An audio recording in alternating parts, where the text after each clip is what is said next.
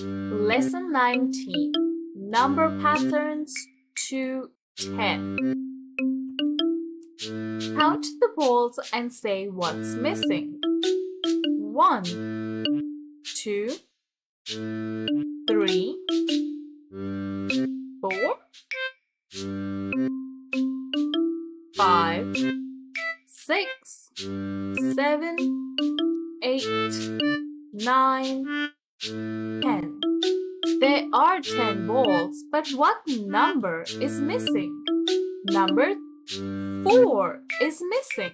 Can you see number 4? Good job. Now, let us put them in order from biggest to smallest. 10, 9, 8, seven, six, five, four, three, two, one. What number comes before six? If this is six, what comes before six? Let's check if we're right. Five comes before 6? What number comes after 7? This is the number 7. So what comes after it? 8 comes after 7.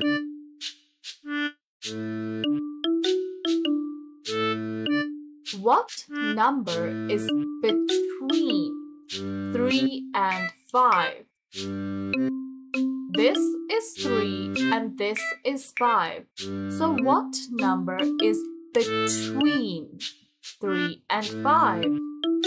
Number 4 is in between 3 and 5. Answer the following to crack the code. As we get our answers, we will enter it into our code at the bottom. What number comes after 1? The number 2. So let's put it in. What number comes before 4? Number 3. What number is in between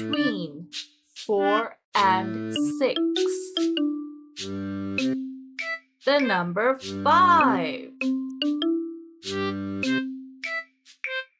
What is the number after 6 and before 8? The number 7. What is the number between 8 and 10? Did you get all of that correct and crack our code?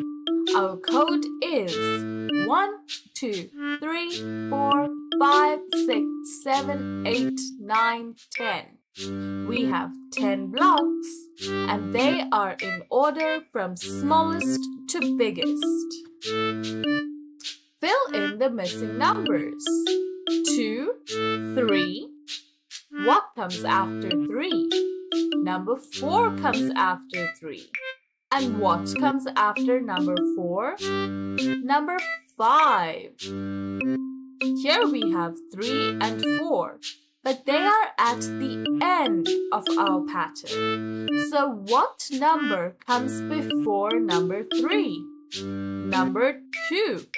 And what comes before number two? Number one. What is between number two and number four?